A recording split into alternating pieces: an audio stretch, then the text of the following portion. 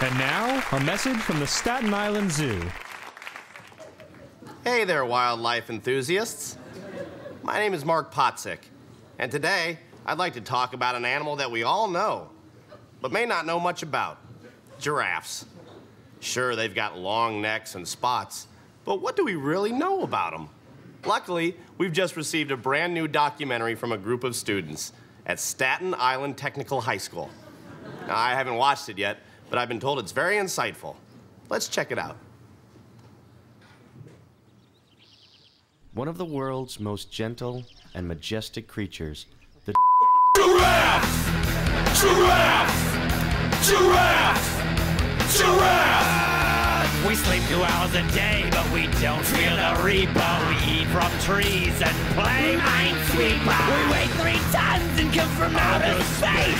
Sent here to destroy the whole human race. Giraffe! Giraffe!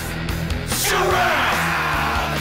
Vampire blood runs through our veins. Our fork tongues wag, driving you insane. You'll be herded in camps when the time is right. Where we eat your brains for our delight. Giraffe! Giraffe! Giraffe! Giraffe! There's no escape, it to hell.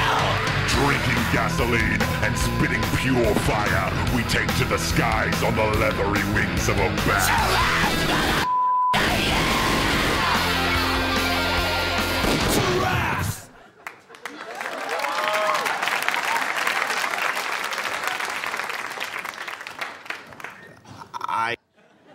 This has been a message from the Staten Island Zoo.